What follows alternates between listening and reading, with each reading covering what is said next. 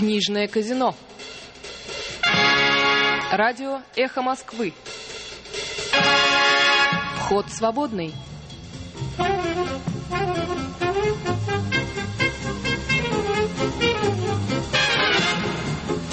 15 часов 9 минут в Москве, а вот опять я тут, Ольга Бычкова, вам вместо Ксении Лариной.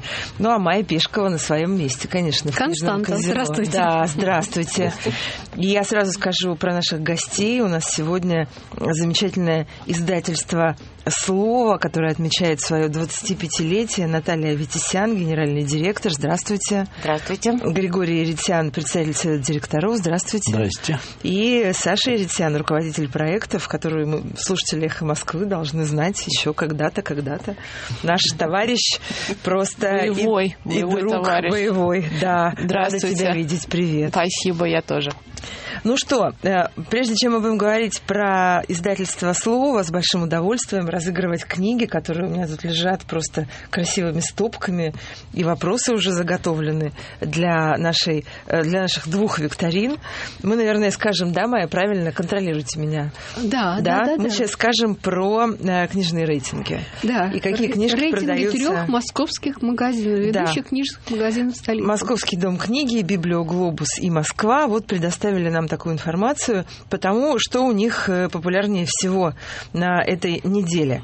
Итак, э, на пятом месте э, и четвертом тоже они делят одинаково, делят две книги, пятое и четвертое места. Это Филдинг Бриджит Джонс «Без ума от мальчишки». Это продолжение, да, Бриджит Да, Джонс? Какой-то да, уже да, очередной 25-й, там какой-то... Жизнь продолжается, я бы так да, вот в этом сериале, ну, отлично. И, конечно, Макс Фрай, э, «Мастер ветров», и закатов. На третьем месте Борис Акунин, часть Азии, история российского государства, ордынский период. Вот я, например, еще не дошла до нее, а все вокруг хвалят. Все говорят, что прямо все ужасно интересно, надо читать. Устинова Ковчег Марка на второй позиции. Ну и на первой, конечно, Пелевин, такой модный. И тоже все про это тоже говорят, говорят сейчас вокруг. Любовь к трем Цукербридам на первом месте по результатам продаж э, трех московских крупнейших книжных магазинов Дома книги, Библиоглобуса и Москвы. А на шестом месте, посмотри, пожалуйста, кто там у нас? Ой, Соломон Волков. Да. Диалоги с Владимиром Спиваковым. Круто. Этой книге очень много говорят. Не только о диалогах с Бродским, но и об этой книге, которая вышла сейчас к юбилею скрипача. Ну, поскольку все знают, э, что такое культовая книга «Диалоги с Бродским», то, конечно, есть смысл э, взять э, «Диалоги с Владимиром Спиваковым» тоже в руки и почитать. И, конечно, знают о книге про культуру Санкт-Петербурга, тоже Соломона Волкова. Да. Ну что, вот э, такие у нас книжные новости на этой неделе. У нас будут еще книжные новости от Ильеша, но это будет в конце этого часа, без пяти, примерно четыре. А сейчас мы обращаемся к издательству, к издательству «Слово», первому частному издательству России. 25 лет отмечает э, «Слово». Сейчас я вас, конечно, очень поздравляю. Спасибо. Просто я вас поздравляю от всей души, потому что это очень красивые и прекрасные книги издательства «Слово», которые видно на любой ярмарке и в любом книжном магазине. Вот вас действительно, это правда, это не комплименты, вас ни с кем не спутаешь. А, Ну, конечно, теперь я спрошу у вас очень свежо так, как вот это все случилось 25 лет назад, что люди взяли и организовали издательство, которое стало потом таким большим, прекрасным и успешным.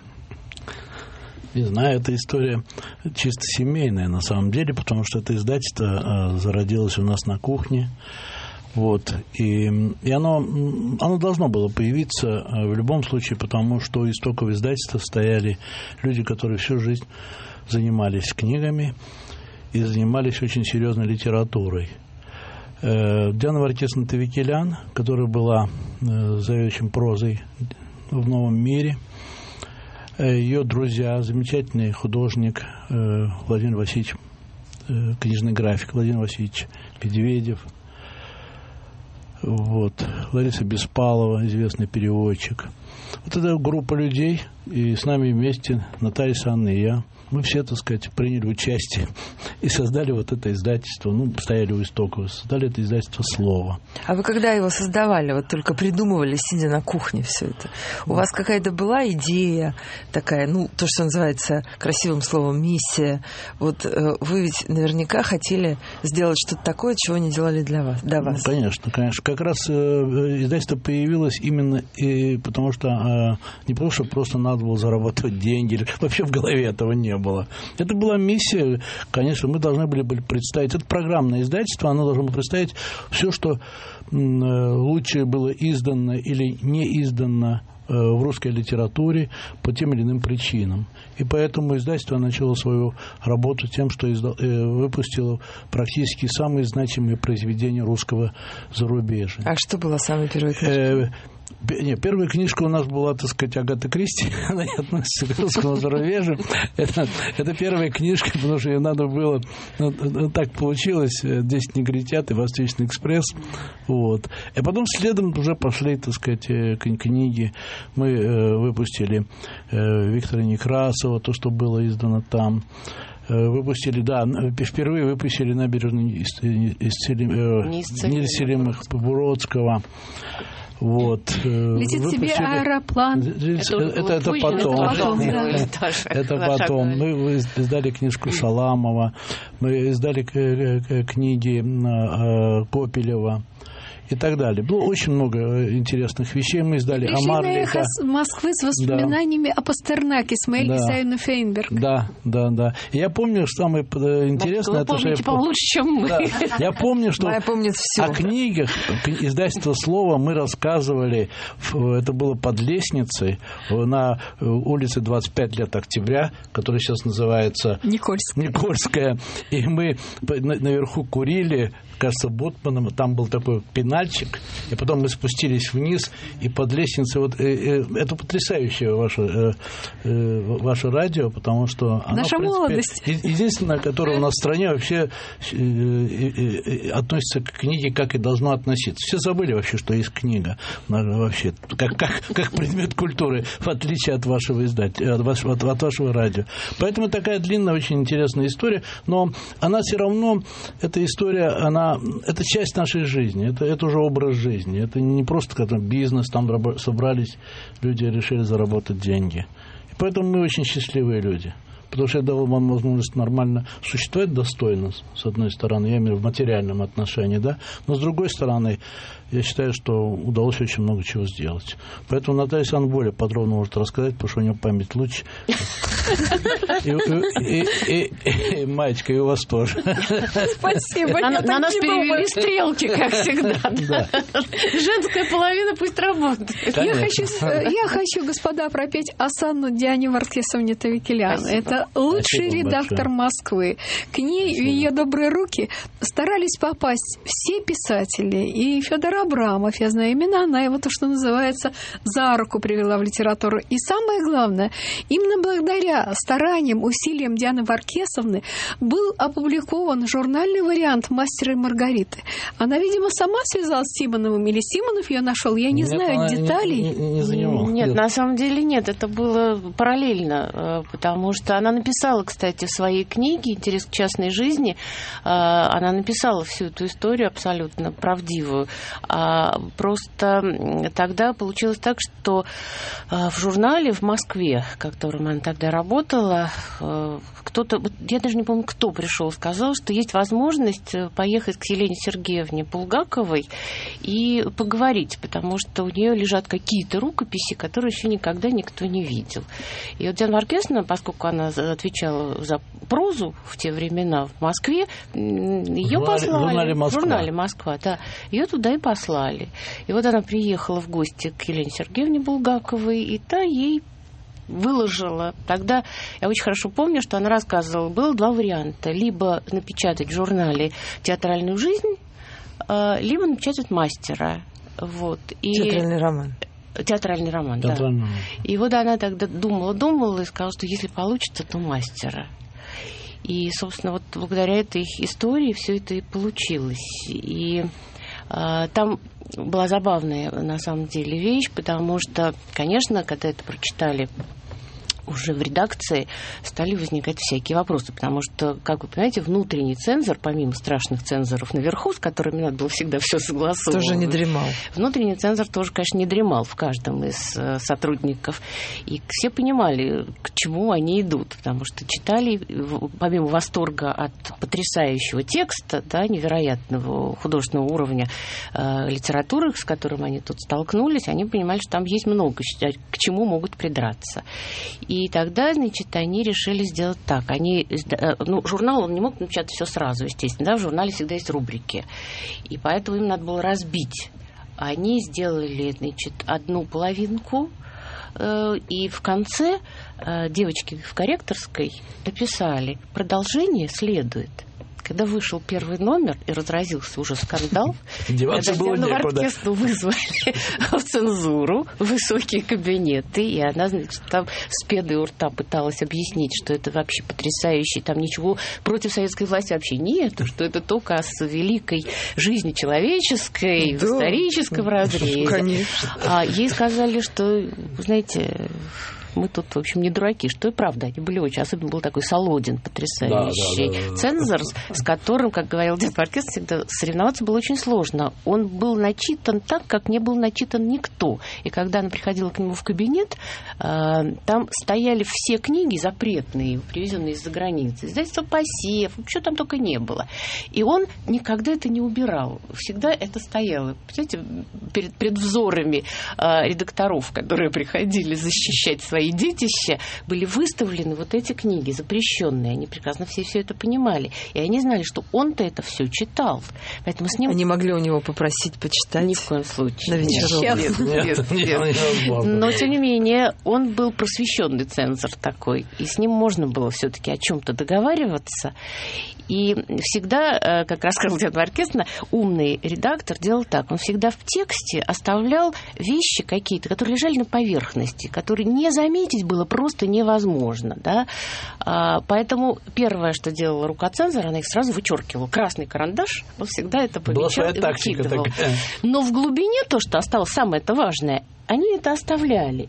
И очень часто это и проскакивало. То есть сливки видел любой цензор и убирал, а то, что было в глубине, оставалось. И надо сказать, что Солодин, понимая, что это осталось, он шел тоже на эту вот игру верхушку убирали. Исполняли свой долг. Да, долг исполняли, угу. и это оставалось.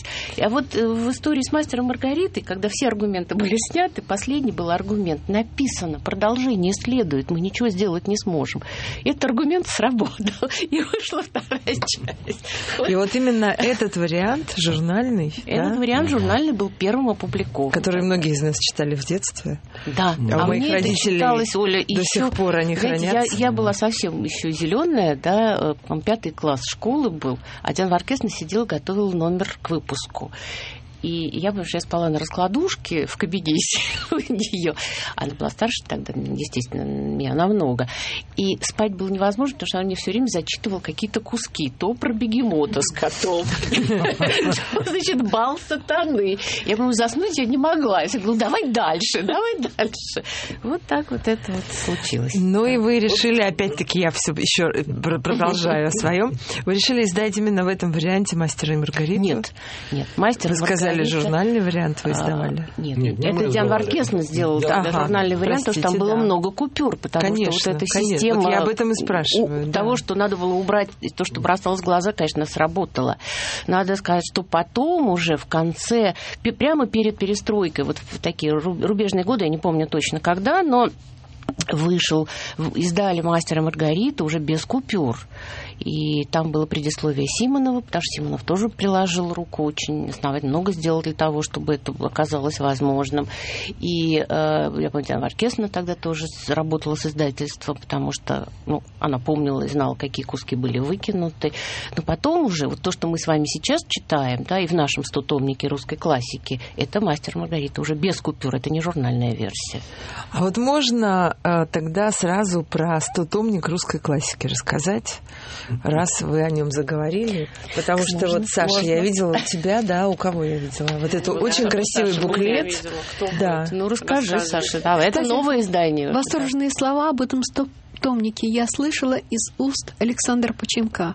Он был приобретателем ваших Ой, книг. ну он, и он же был он- любитель. Он Да, ценил Он книги. ценил. Да, он любил ценил книгу. книги, ценил переплет, понимал говорил, что так книгу. надо издавать. И такие восторженные слова летели в адрес вашего издательства, именно из нашей гостевой, где мы общались.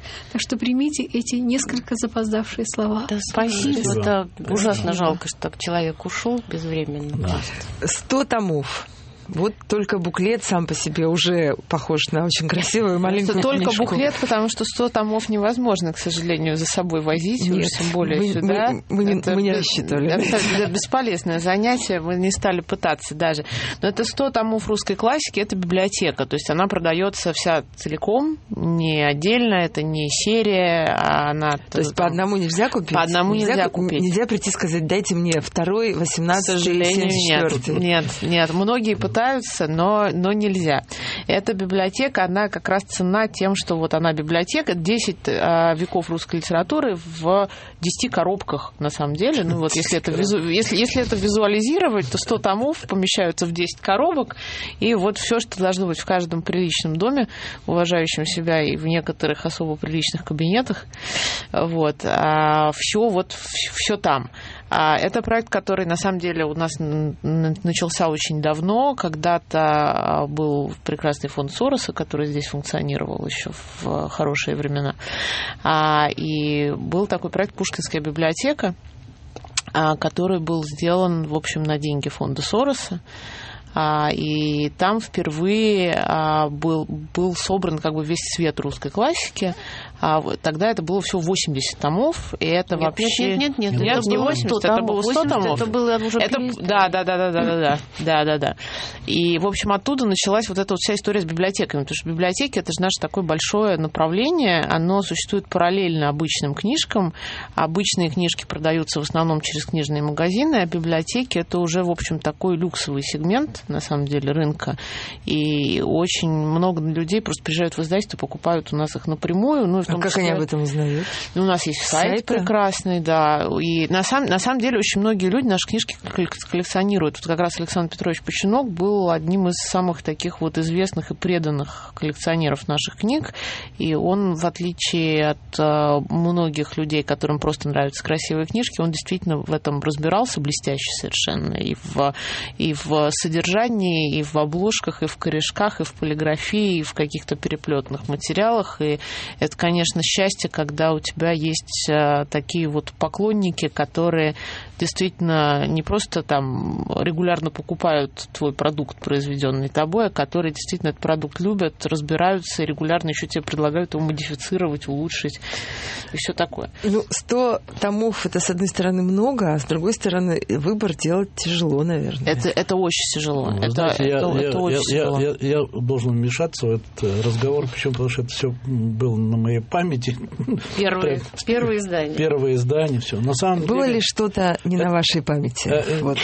Что-то я забыл. В истории издательства Что-то слова. я забыл. Просто я хочу сказать, что выбор... э, вообще там была редакционная коллегия, которую возглавлял Лихачев, между прочим.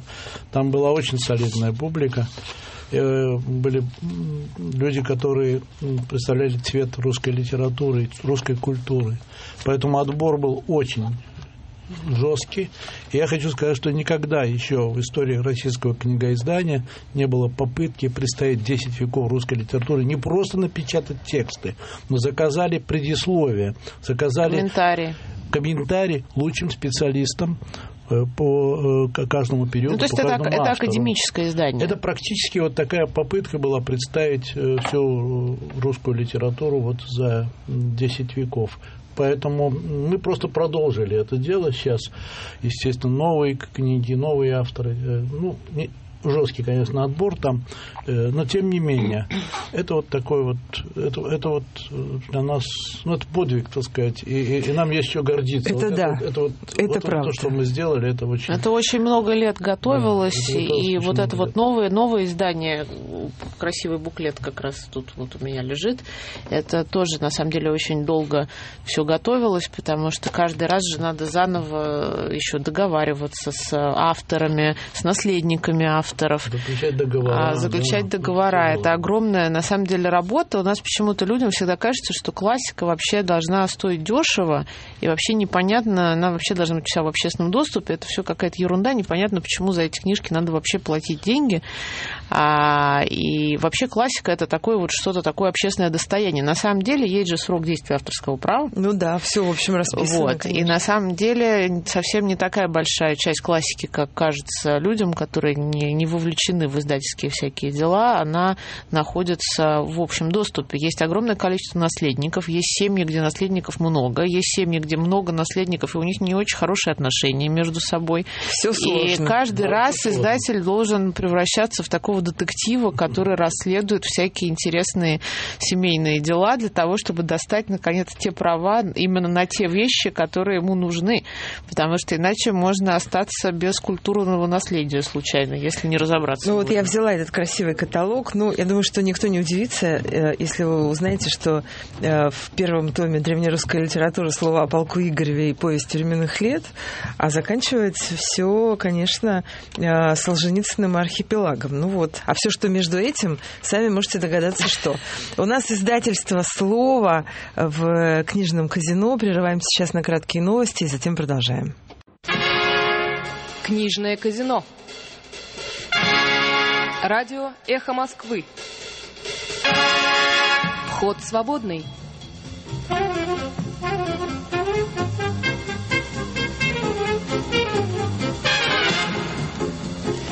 Добро пожаловать в наше книжное казино. Ольга Бычкова, Майя Пешкова и наши замечательные гости из прекрасного, замечательного издательства «Слово», которое мы еще раз поздравляем с 25-летием. Мы еще сделаем это сегодня с большим удовольствием.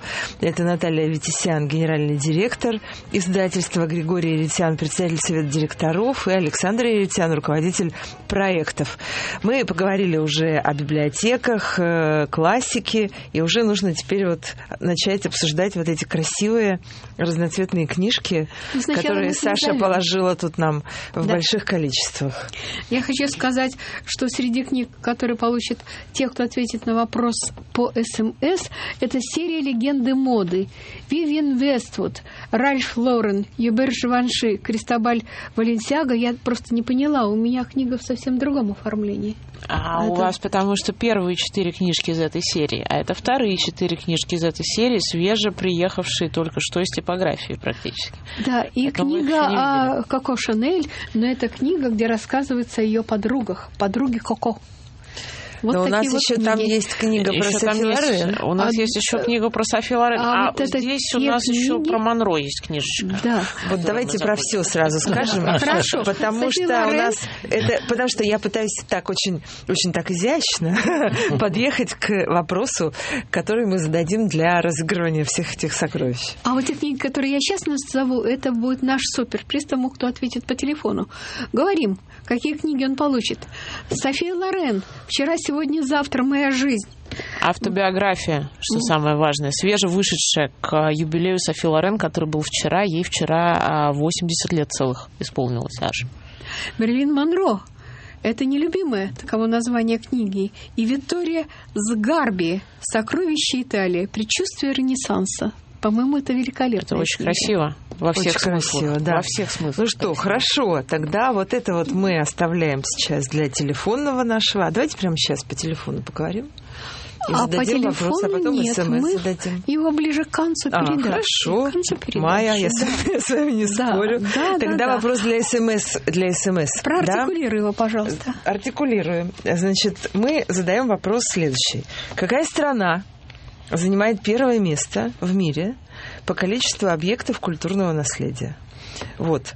У нас есть смс-портал плюс семь девять восемь пять девятьсот семьдесят сорок пять сорок пять. Прямо сейчас начинайте нам писать, присылайте правильные ответы, а, и мы а, прямо очень, очень, да, буквально вот в считанные минуты, как только правильный Наши ответ референты нам принесут список правильных Сколько мы, наших победителей. Пять Сколько человек. мы выделяем? Пять человек, да? Вот у нас там хватит пяти комплектов? У нас хватит, у нас там Тут еще много лежат. развезли. У нас Отлично. запас. А что мы не Нормально. разыграем, будут разыграны в иных передачах радиостанции «Эхо Москвы». Точно, Следите за точно нашей ничего не пропадет. Все, вот все просто, все будет расхватано вместе с руками. Какая страна занимает первое место в мире по количеству объектов культурного наследия? Плюс семь девять восемь пять девятьсот семьдесят сорок пять сорок пять. Пишите, уже люди пишут.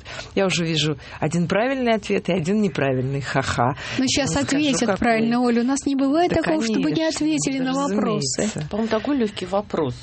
Да? Не На взгляд, подсказывай, бог-нибудь не не подсказывай. А у, не меня вопрос, а у меня вопрос к нашим гостям. По случаю вашего юбилея вышло такое собрание сочинений газетное, посвященное вашему издательству. Газетная это хорошо, это красиво. Это ежепятилетняя газета. Это вот то, что нас не приходило. Да, в да, голову да, даже, да, да? Да, да, да. Ежепятилетняя Это безумно интересные газеты. Их где-то можно купить? Вопрос. Нет, это только дарят друзьям. Это поняла. Теперь вопрос второй.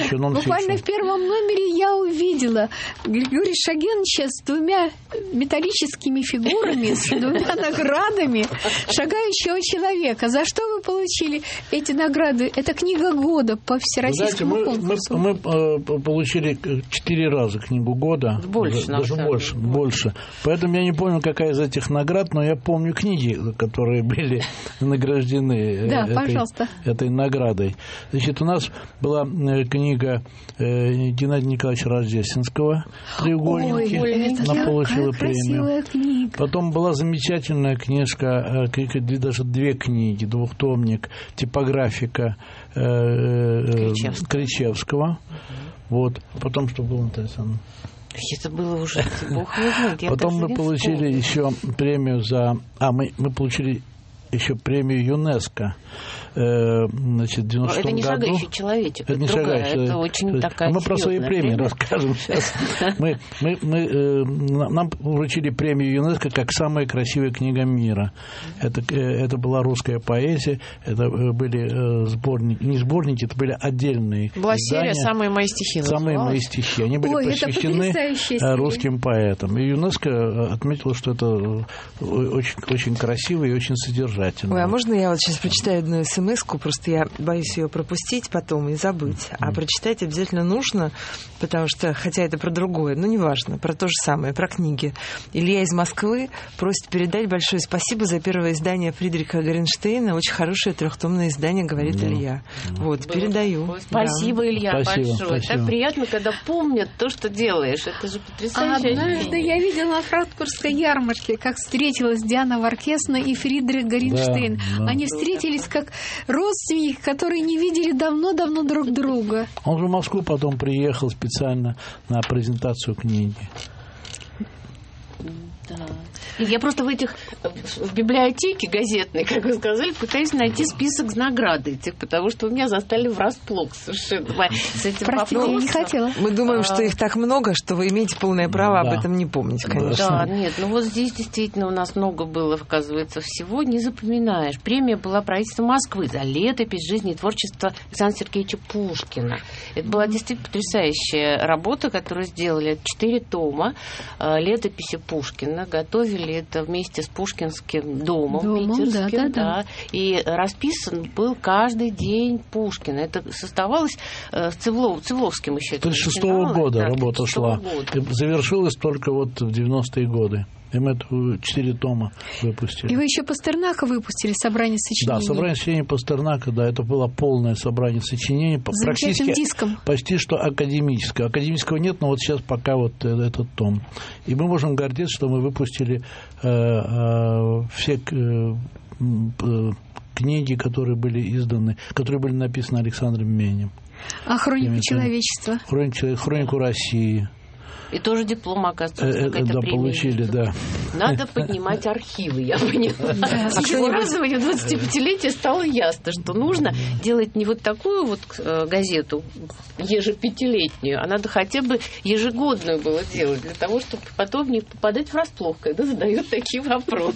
А кто-нибудь э, знает, посчитал, сколько всего изданий у вас было за эти 25 лет?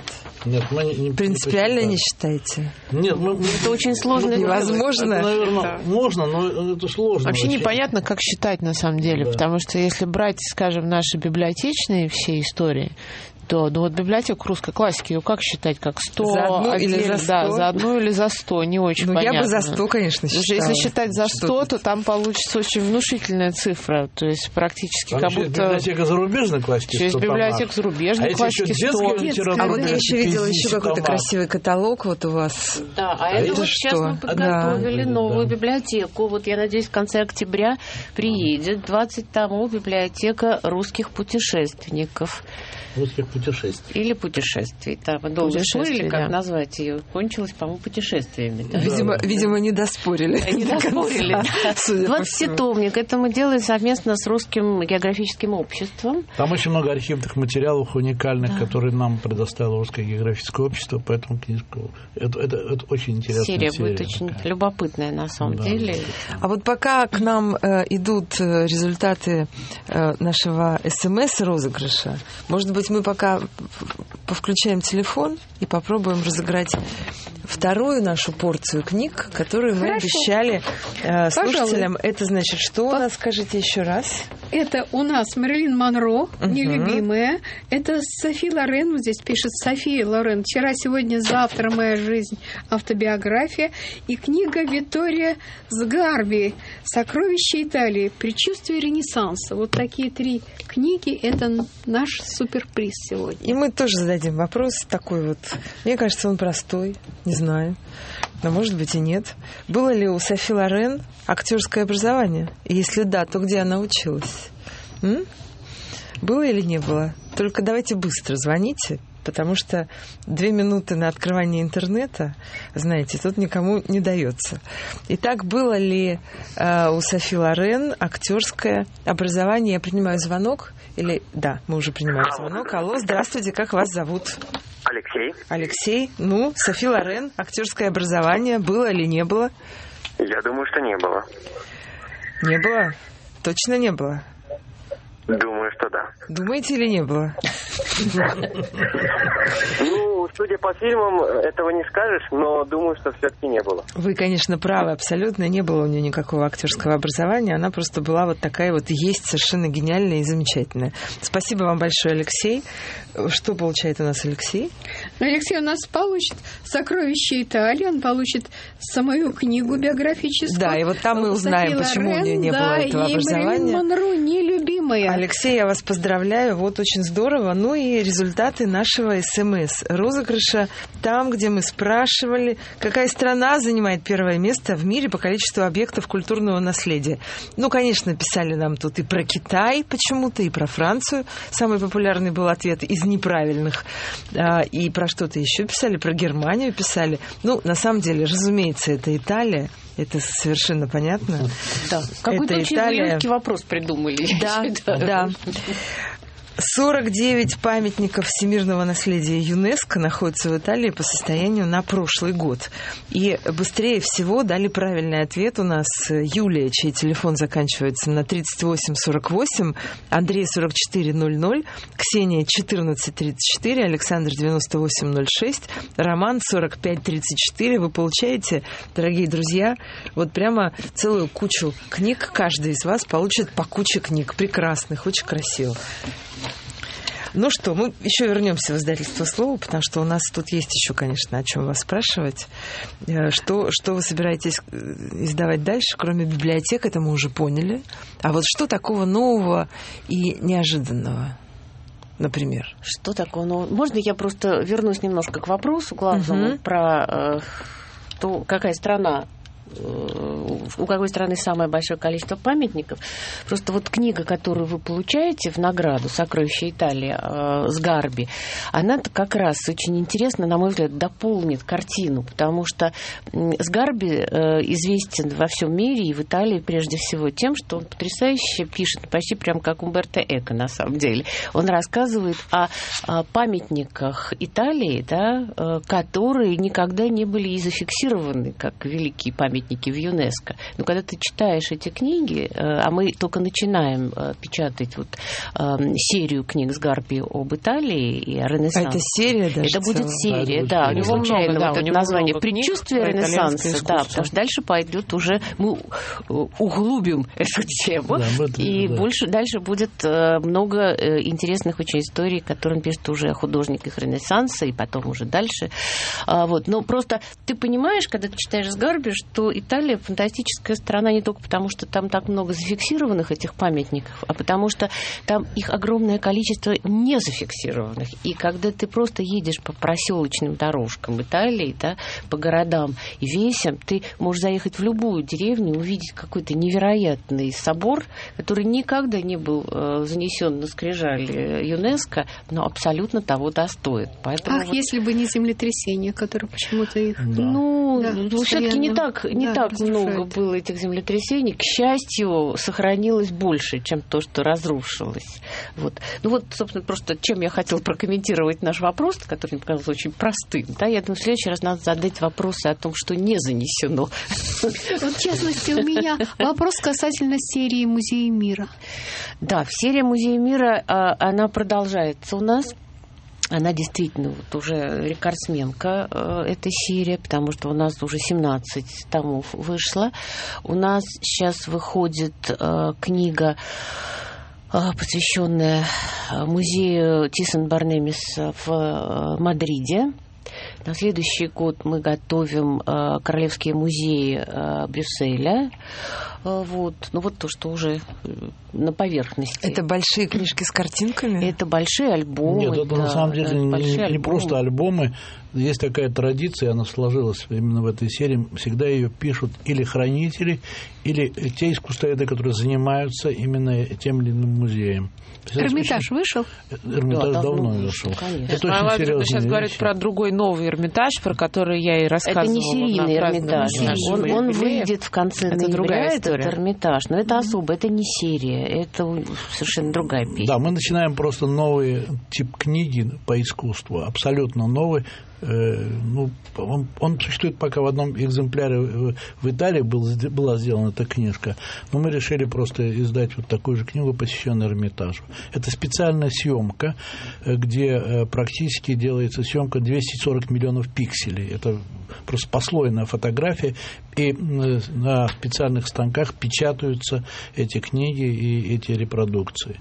Это практически полная передача цвета, которая вообще возможна возможно на сегодня. На самом деле не только цвета, то есть эта съемка, она как раз интересна тем, что ты видишь на картине то, что обычно видит сотрудник музея, хранитель, там, куратор и так далее.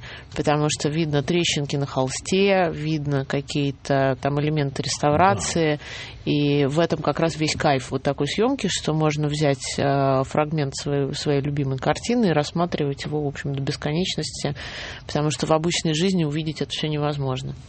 Угу. Тут несколько вопросов у нас пока а, от слушателей пришло, а, пока мы говорили. Ну, во-первых, пишет Юлия, спасибо за замечательную книгу Байдерка. Саша Васильева. Ой, спасибо. И спасибо. Юля спрашивает, нигде не могу купить книгу «Неуловимый Париж». Будет ли она переиздаваться? Не планировали пока. Пока не планировали. Она действительно закончилась. Ну, может быть, где-то еще в каких-то книжных магазинах она осталась. Надо, я просто могу только предложить искать в интернете. У нас в издательстве точно она закончилась. Книжка была вообще замечательная, отличная, действительно. Это Михаил пока, Герман. Да, это Михаил Герман. Мы пока ее не планируем переиздавать, но, может быть, в какой-то момент соберемся. Мы Ваш постоянный автор, ведь выходил его импрессионизм и постимпрессионизм. Да, да, да. да, у нас было несколько книг. Он замечательный совершенно автор мы его очень нежно любим. Ну и вот у нас есть еще такой слушатель Дмитрий из Екатеринбурга, который очень Польшей интересуется и всегда про это спрашивает. И спрашивает, публикует ли ваше издательство э, польских авторов. Да нет, как-то вот не вспомню. Нет, ну, пожалуй. Дмитрий, извините, да. да. Может быть, когда-нибудь. Да, да что-нибудь еще. А, ну, э, все-таки, может быть, еще нам расскажется что-то про новинки и про то, зачем следить читателям в книжных магазинах И что, что ловить? Еще? У нас будет э, шикарный совершенно проект, который как раз надо будет ловить во всех книжных магазинах. 23 октября у нас выйдет новый роман Энтони Горовица под названием «Мариарти». Была у нас такая история, мы выпускали книжку «Дом шелка», это новые приключения Шерлока Холмса, которые британскому автору, замечательному Горовицу, доверили тогда наследники Конан Дойля написать, потому что на самом деле этих новых приключений очень много, и регулярно кто-то предпринимает попытки их написать, но это как бы вот настоящая такая вещь. А, и «Дом шелка» тогда имел у нас фантастический успех, мы его тоже издавали, у нас была мировая премьера одновременно с Великобританией, с Америкой и еще с целым рядом стран. А, и сейчас у нас тоже будет мировая премьера, потому что Энтони Горовец написал детективный роман под названием «Мариарти». А, там все крутится, конечно, вокруг истории Холмса с Мариарти. Сюжет не расскажу, потому что иначе выдам- я же выдам страшную Нет. тайну, чем заканчивается. Конечно. Поэтому нет. В общем, это шикарный английский детектив, который выйдет везде. У нас там единый день старта продаж по всему миру. Вот. И, в общем, вот 23 октября надо будет просто ловить его с Запомнили, руками и ногами. Запомнили. Да. Спасибо вам большое. Ну, Ну, что вот я... еще выйдет, я Да. извиняюсь, просто хочу порадовать, наверное, многих любителей Паулы Волковой, потому что буквально, я думаю, уже недели через две, может быть, и раньше, из типографии придет книга, посвященная ей, э, алфавит Паулы Волковой. Это сделали книгу ее друзья очень близкие, собрали вместе и ее собственные тексты, и письма ее к дочери Маше, и какие-то разговоры с ее друзьями. И иллюстрации там тоже известными. есть, кстати, Есть много книжке. иллюстраций там тоже. Но книжка получилась просто такая душевная и цепляющая очень. Я думаю, что те, кто любит Павла Волкова, ну, для них это просто будет масс. Ну, Где-то с 1 октября можно ловить. Здорово. Спасибо вам большое. Желаем вам, конечно, новых книг, новых проектов очень удачных. Всех успехов. Поздравляем еще раз с 25-летием издательства «Слово». Спасибо. Спасибо. огромное. Спасибо. Спасибо. Спасибо. Книжные новости. Всем привет, с вами Илья Иш и книжные новости. Авторы из США впервые попали в короткий список Букеровской премии. Его объявили на прошлой неделе. Американское нашествие стало возможно после того, как год назад организаторы решили расширить географию приза. Ранее на Букер могли претендовать англоязычные авторы, проживающие в Британии, странах Содружества, а также Зимбабве и Ирландии. А теперь номинантами премии может стать любой автор, пишущий на английском, при условии, что его книги публикуются в том числе в Великобритании.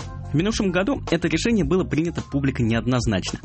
Опасались, что американцы возьмут свое просто количеством. В итоге из шести авторов короткого списка американцев всего двое. Во-первых, это Джошуа Феррис с романом «Воспрянуть в подходящий час» про зубного врача, чья жизнь оказывается под угрозой после того, как от его имени стали в социальных сетях появляться страницы. Стивен Кинг уже назвал книгу «Ловкой 22» для дантистов. Другой американский роман в списке – книга «Все мы абсолютно вне себя» Карен Джой Фаулер. Издание «Коммерсант Власть» описывает его как забавную и печальную историю о взаимоотношениях в семье, правах животных и самообмане. Кроме того, в шорт-лист вошел австралиец Ричард Фланиган. Троих британцев зовут Нил Мухереджи, Алис Смит и Говард Джейкобсон.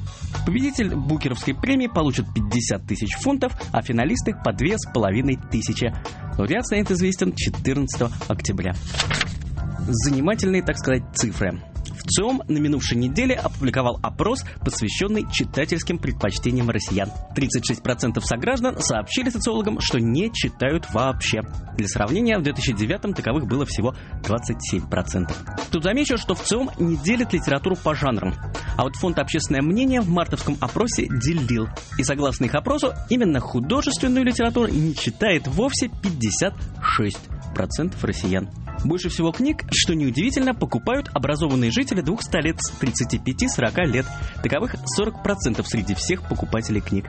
18% опрошенных читают и покупают электронные книги в интернете. Пять лет назад таковых было 5%. В центре исследования был вопрос о том, сколько сограждане готовы платить за книгу. Средняя цифра – 361 рубль. При этом более полутора тысяч рублей за одну книгу готовы заплатить целых 5% респондентов. По-моему, очень высокий результат. Между тем, американский Pew Research Center также опубликовал результаты опроса про книги. Главная цифра – 43% молодых американцев заявили, что читают книги каждый день. Полностью корректную параллель с Россией провести я сейчас затруднюсь, однако по результатам все того же весеннего опроса ФОМа среди опрошенных россиян самых разных возрастов, не только среди молодых, лишь 9% говорили, что читают каждый день. Американский Forbes опубликовал список лучше всего зарабатывающих писателей. В лидера рейтинга вернулся детективщик Джеймс Паттерсон, которого в прошлом году потеснила автор 50 оттенков серого Эрика Джеймс. Сама она в этом году спустилась на 11 место, заработав 10 миллионов долларов. Ну а Паттерсон за отчетный период с 1 июня 13 по 30 мая 2014 года заработал 90 миллионов, издав с авторами аж 14 книг. Таким образом, его доходы за последние 10 лет составили 700 миллионов долларов. Дэн Браун за год заработал 28 миллионов и оказался на втором месте. На третьем – автор любовных романов Нора Робертс. На четвертом – легендарная дамская писательница Даниэла Стил. Джон Роллинг заняла восьмое место, заработав 14 миллионов. А сразу следом за ней на девятом расположился автор «Игры престолов» Джордж Мартин. Национальный книжный фонд США вручил медаль за выдающийся вклад в американскую литературу автору тетралогии о волшебнике земноморья Урсуле Легуин. Более 40 лет, говорится на сайте фонда, Легуин преодолевает сложившееся представление о том, как должно быть устроено повествование и литературный язык, как должны выглядеть персонажи и жанры. Она приступила границу между литературой фэнтези и реализма, нащупывая новые пути для художественной литературы. Конец цитаты. Издательство «Адмаргином» продолжает курс на публикацию важнейших книг по философии культуры. Теперь оно, наконец, опубликовало самую первую книгу эссе американского писателя и философа культуры Сьюзан Сонтак. Она называется «Против интерпретации» и впервые увидела свет в 1966 году, сделав писательницу знаменитой. Сонтак была, возможно, первым автором, заговорившим об отсутствии непроходимой стены между высокой и низкой культурой. И в этом смысле жаль, что книга вряд ли дойдет до хотя бы относительно широкого русскоязычного читателя. Он ее вряд ли заметит, а, собственно, читателя Зонтак и так в курсе.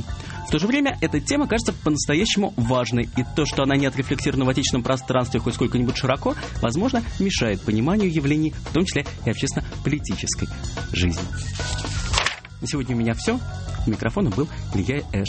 Меня показала звукорежиссер Марина Лиликова. Больше книжных новостей на странице в Фейсбуке facebook.com slash booknews. До встречи.